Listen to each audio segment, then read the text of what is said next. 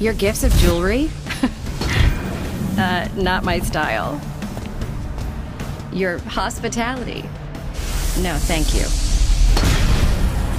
Still, I think I'm beginning to warm up to you.